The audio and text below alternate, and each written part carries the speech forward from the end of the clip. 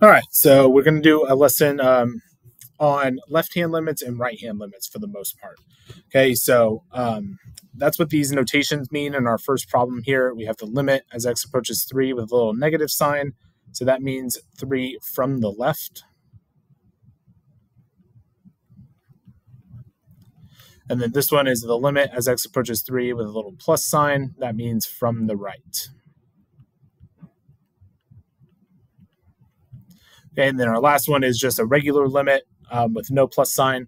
And for this limit to exist, it must approach, the limit must approach the same value from the left and from the right.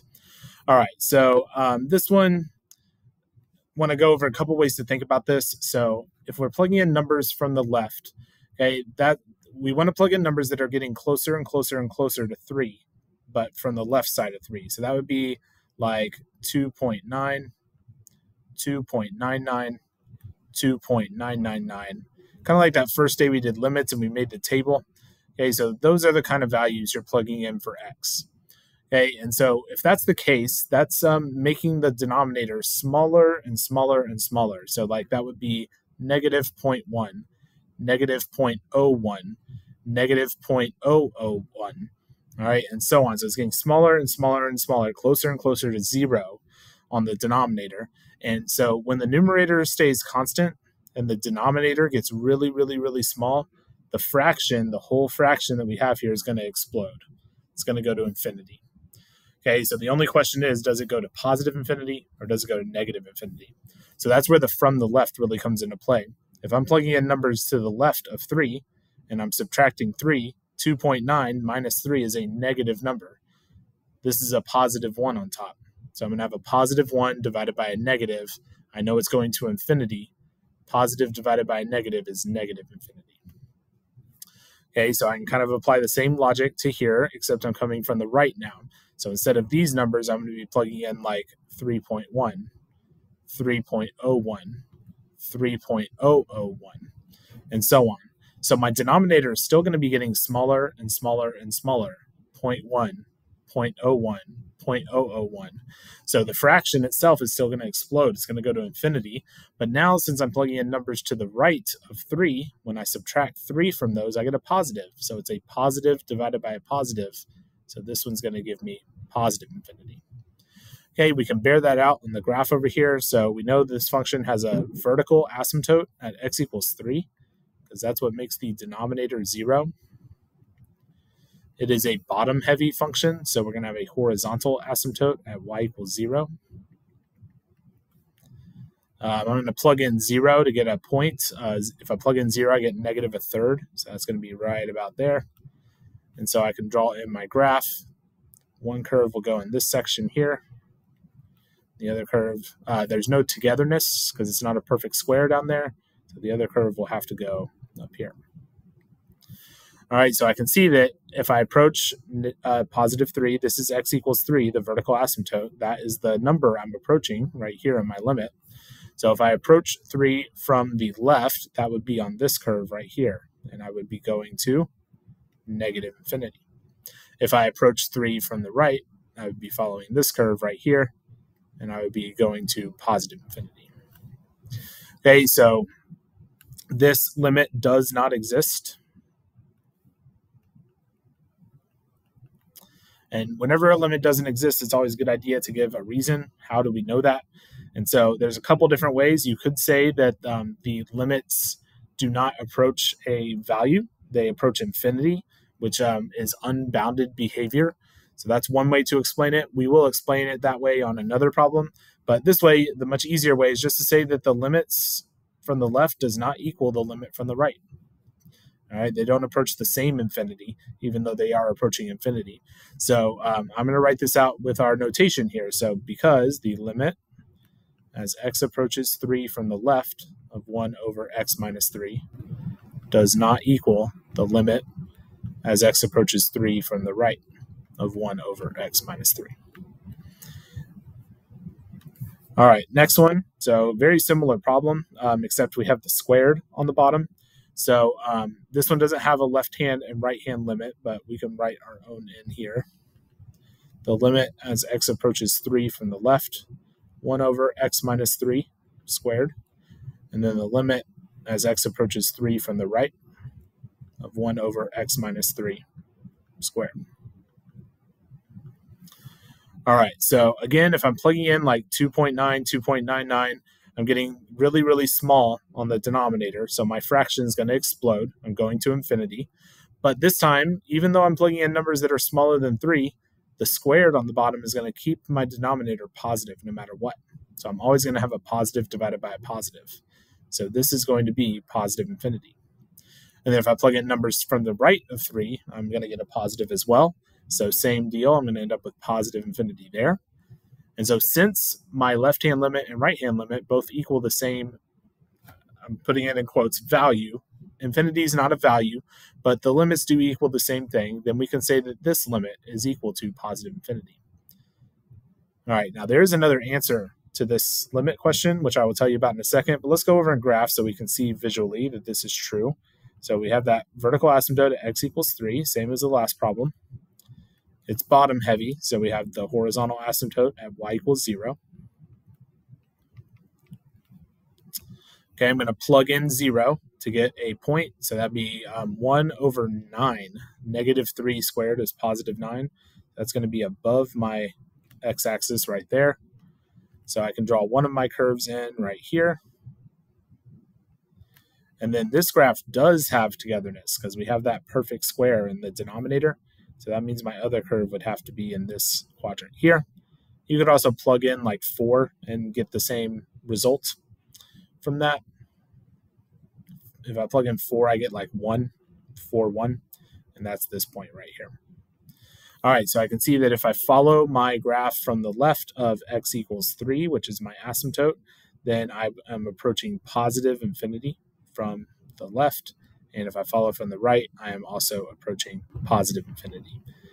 Okay, so this is the best answer to say that this limit is equal to positive infinity. That is great. That's how I want you to do it. But I do want you to be aware that there's another answer because on multiple choice questions, you may see it written another way. Um, and it's just good to know that um, this is actually not a, a, real solution, right? It's not a, it's not equal to a real number, right? It's equal to infinity. Okay, so anytime that your limit is uh, not equal to a real number, that limit actually does not exist. Okay, so that's the other answer here. Limit as x approaches 3 of 1 over x minus 3 squared does not exist. Okay, but if you say it does not exist, that means you have to tell me why. Okay, and you can't use the same reason we used on, on this one because the limits do equal each other. They are the same value. Again, value in quotes there. Okay, so the reason here is because the, the limit is not approaching a, a real number. So it's approaching infinity, and we call that unbounded behavior. So that's what you would write. This limit does not exist because of unbounded behavior. Okay, but this is just so much easier to write. All you have to do is write positive infinity. First of all, unbounded behavior is ambiguous. Does that mean it's unbounded in the positive direction? So it goes positive infinity.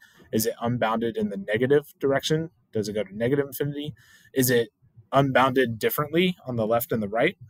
Okay, we might have used uh, like our example from up here in that scenario, but still, it's an ambiguous definition. So this just isn't as good.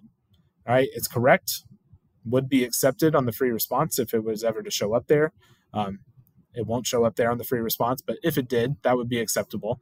But this answer is just way better. It, it gives you everything you need. You know it's unbounded because it's infinity.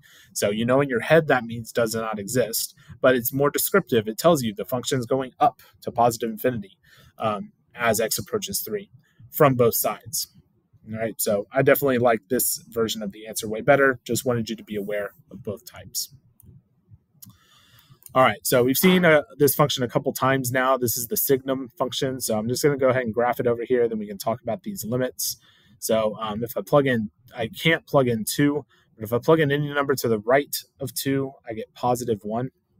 So I'm going to have an open circle at 2, and then it goes to the right like that. And if I plug in any number to the left of 2, I will end up with negative 1. So open circle there, and then to the left, All right, so the limit as x approaches 2 from the left, I would have to be following this part of the graph because this one up here doesn't have anything left of 2. And so that would be approaching negative 1, that open circle right there. Okay, limit as x approaches 2 from the right, I would have to be following this function up here because this one doesn't have anything to the right of 2. And that is approaching positive 1. So therefore, my limit does not exist. And same reason as the first problem, because the limit as x approaches 2 from the left of the absolute value of x minus 2 divided by x minus 2 does not equal the limit as x approaches 2 from the right of the absolute value of x minus 2 divided by x minus 2. All right, so we graphed a step function in our pre-calc review, so we're going to revisit that here. Um, the step function we will need to graph right here is um, shifted to the right two units. So if you knew what the parent function looked like, but I never really remember what the parent function looks like myself, so I always start just by plugging in numbers. Now I do want to point out that our limit is approaching one, not approaching two, so just be careful about that. Okay, so um, we're to plug in, um, actually, I'm to plug in 2. I want to start with two first because 2 minus 2 is 0. So 1, 2, there's a point right there.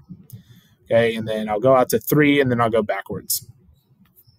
Okay, so remember this is the round down function.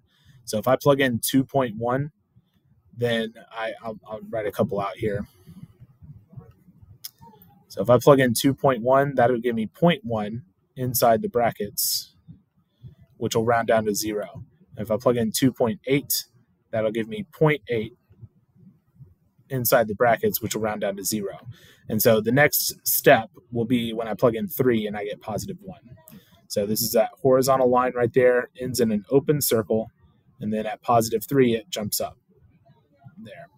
And so we will go backwards as well. So if I plug in one, I get negative one right there to an open circle. If I plug in zero, I get negative two over there.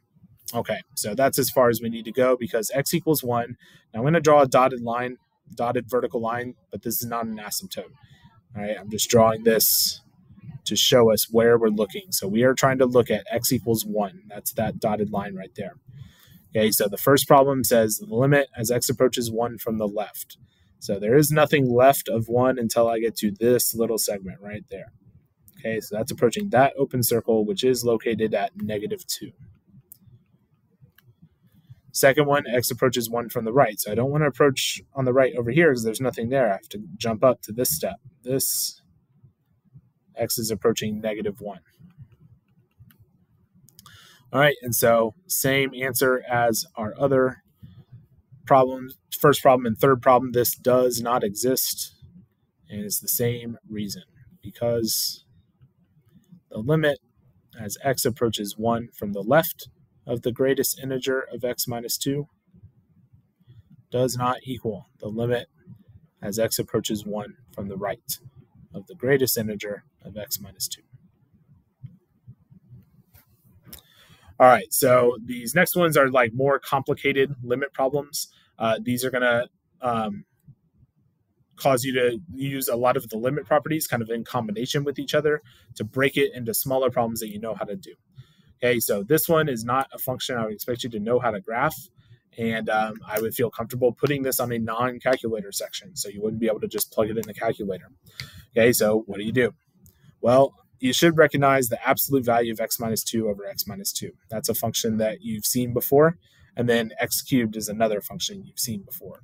So we're going to split this into two limits, and we're going to break it up right there at that multiply symbol. So the limit as x approaches 2 from the left of x cubed, and we're going to multiply that by the limit as x approaches 2 from the left of the absolute value of x minus 2 divided by x minus 2. All right, and so this one with just a regular power function, you can just do direct substitution. 2 cubed is 8 and then this one, you would probably want to graph it, although we've already done it. So I'm going to come back up here. The limit as x approaches 2 from the left is equal to negative 1. So our answer on this one is equal to negative 8.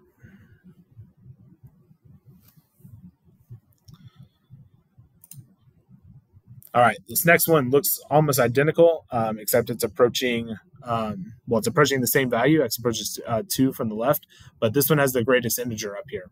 Okay, now having the greatest integer divided by the same thing, that is not a function that you should know. That's not a function we've graphed before. So um, I'm saying that because we are actually going to break this into three pieces. I'm going to break it at this multiply symbol right here. I'm also going to break it at the division sign.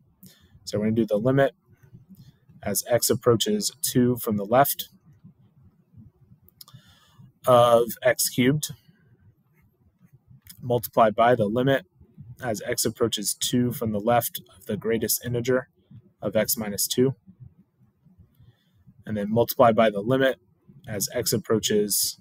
So those are on the numerator. So if we take the two things off the numerator, we're still going to have a 1 on top over x minus 2.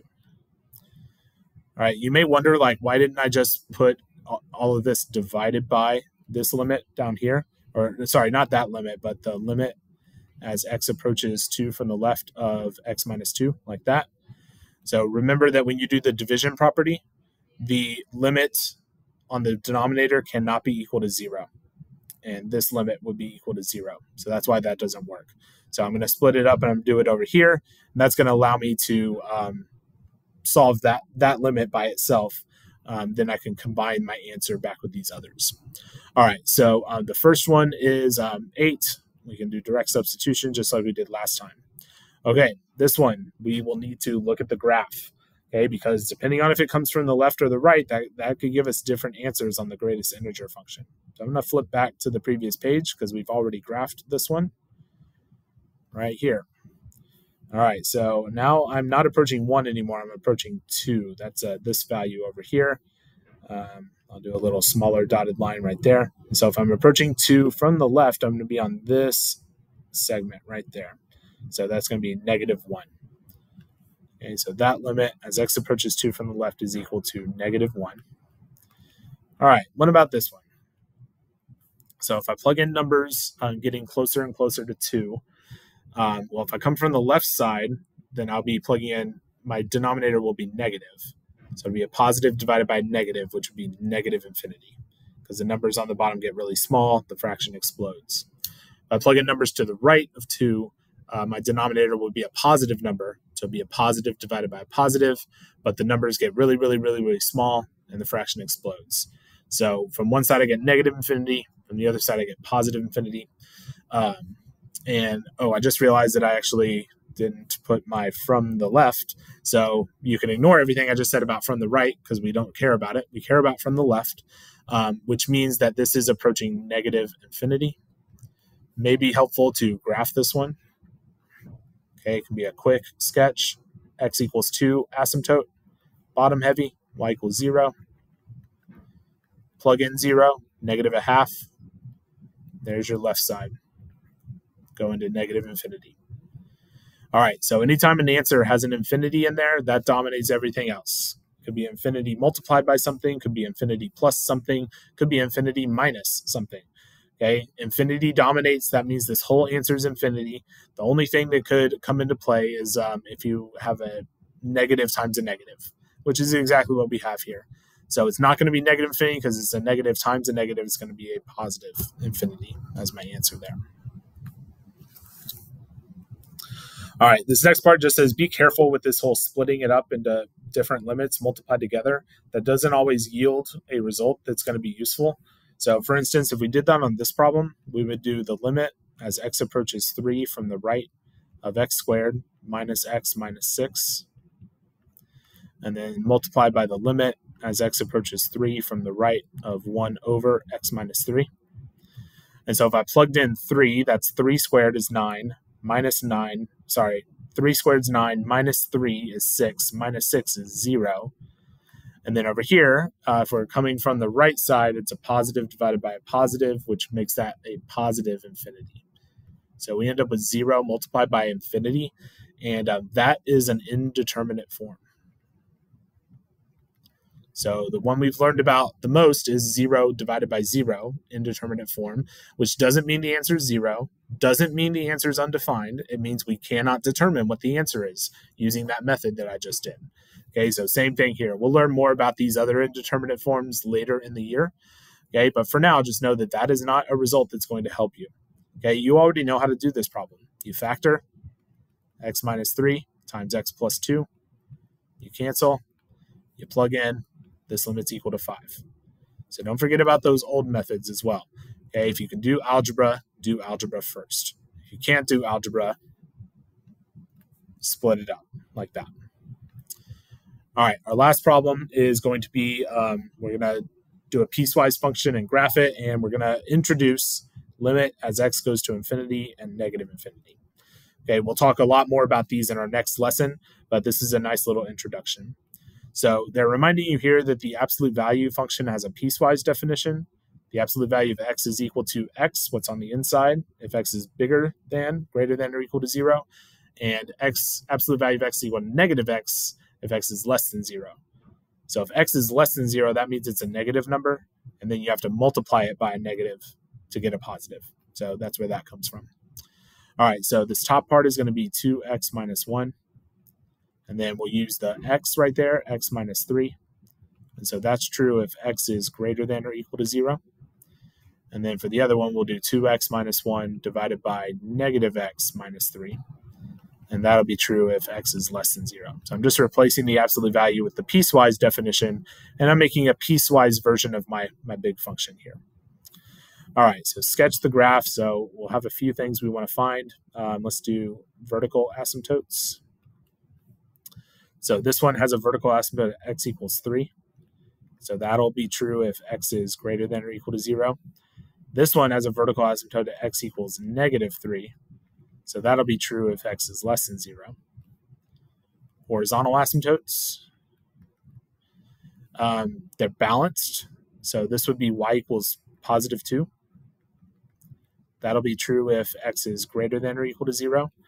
This is balanced, and so that'll be y equals negative 2 if x is less than 0. Um, x-intercept, so if I plug in zero, no, sorry, if I set the numerator equal to zero, I'll get um, one half comma zero. All right, and that would be the same answer for this bottom one. And so since x is positive, that's going to only really apply to the top function because x is greater than zero. All right, y-intercept, this is the one where if I plug in zero, I get negative one divided by negative three. So I get positive a third. All right, same thing down here. And uh, this is actually going to share. They're going to share that point. It's a closed circle point up here. It's an open circle point down here, but the closed circle will take precedent. It'll fill it in. All right, I think we got everything we need. So x equals 3.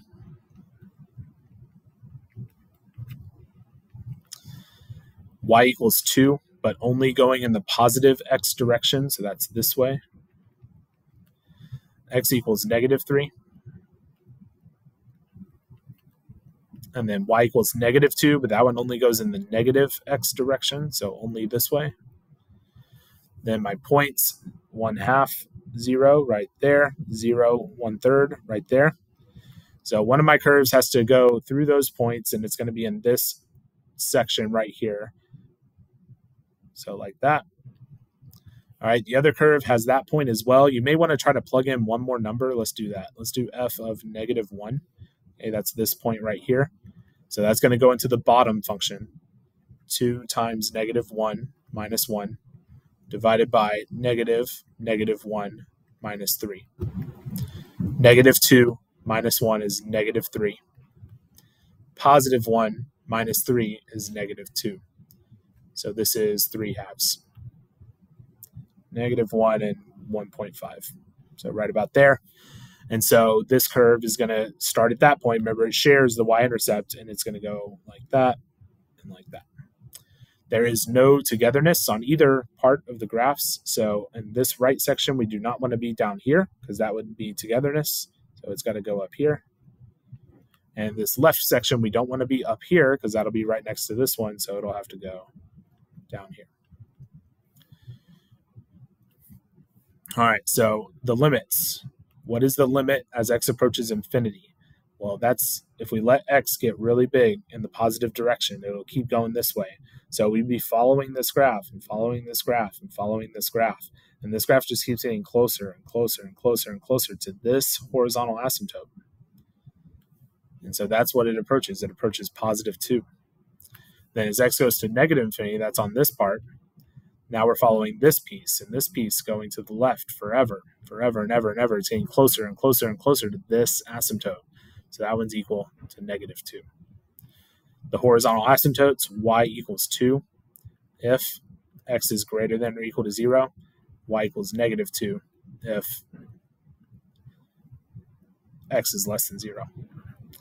Okay, so notice that this infinity, this limit at infinity is the same as the horizontal asymptote. This limit as x approaches negative infinity is the same as that horizontal asymptote. That's what these limits are. These limits are horizontal asymptotes. Okay, we'll discuss those more in our next lesson. Hope y'all enjoyed this one. See you for the next one.